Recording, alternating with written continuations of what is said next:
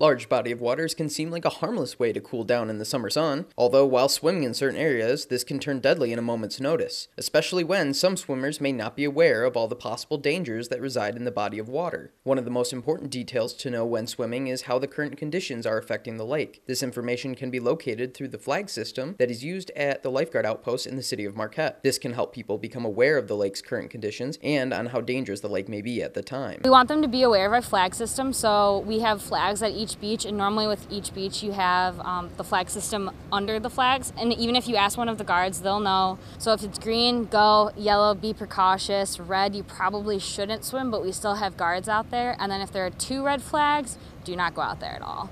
With the weather affecting the swimming safety as much as it does, there are other threats while swimming in these large bodies of water. Rip currents, which can be affected by the weather, are always changing and can be very dangerous, even for the best of swimmers. The rip currents here are definitely strong, and a lot of people, you know, your initial thing to do is to fight against it.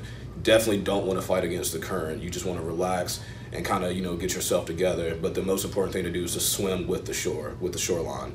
Don't swim, you know, out into the water. Don't try to come back to directly to shore. You want to stay parallel to the shoreline and, you know, kind of edge yourself in that way. If you are also with another person and they are pulled out by the current, then you do not want to get into the water as well Instead, find a way to help them by throwing a flotation device out to them and or calling for help. Don't go in. Call 911 and if there is a life preserver, you can go ahead and throw that on or try and throw one of the life rings that are on the back of each of our stands to them. Just you stay safe. We don't want two people to be drowning versus one.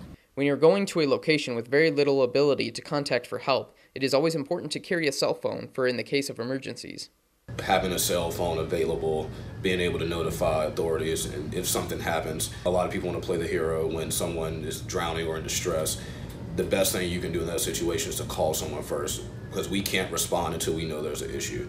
Now, if you have the option, you can use a device called Emily. This device is located at some beaches that have no lifeguards currently stationed for the season. And Emily is our emergency lifeguarding lanyard. And it's like a little Mo Control boat that you guys can send out. There's a lock code on it. So when you call 911, they'll give you the lock code and you'll get in it and basically direct it towards the person that's being swept away.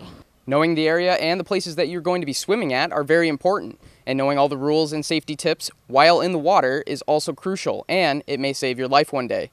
Reporting from Marquette County, I'm Dan Callahan for ABC 10 and the CW5.